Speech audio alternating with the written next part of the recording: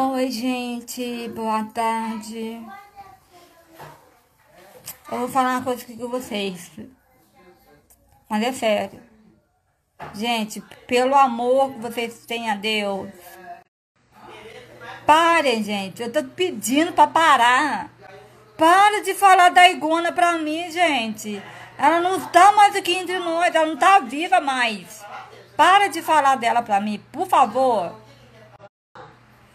Eu peço, tô pedindo, não está adiantando falar, né? Para de falar da Igona, gente. Ela não tá mais entre nós, para com isso. Ela está descansando agora com Deus. Para, gente. Para de falar da Igona, tô pedindo, por favor. Para de falar dela. Deixa ela descansar em paz. Nossa.